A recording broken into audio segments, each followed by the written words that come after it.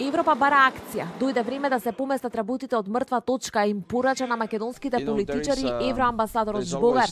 Политичарите мора да научат да се слушаат повеќе себе си, а процесите да почнат да течат, вели евроамбасадорот. Мојот став, мојата проценка е дека дојдено е време вашата земја да се придвижи напред, да се формираат државните институции, да се избере спикерот на собранието и самата влада да се формира.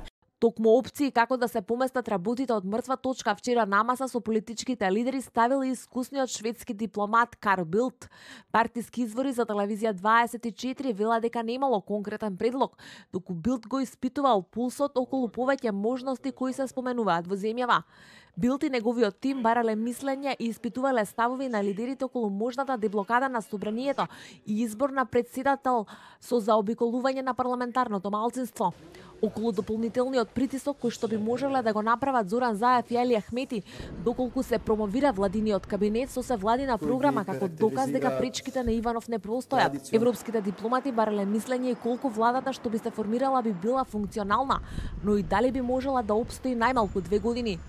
Но и што би се добило од нови предвремени парламентарни избори?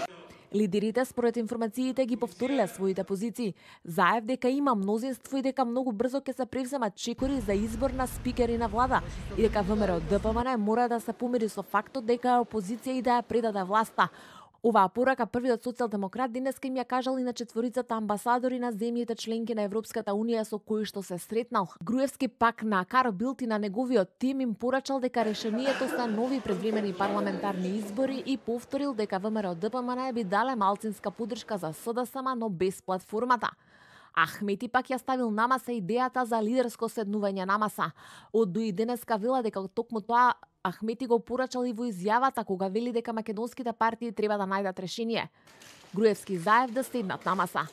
Ова е идеја за која барем на прва според партиите нема позитивни реакции. Ахмети лидерско седнување на маса заговара повеќе време, но засега безуспешно.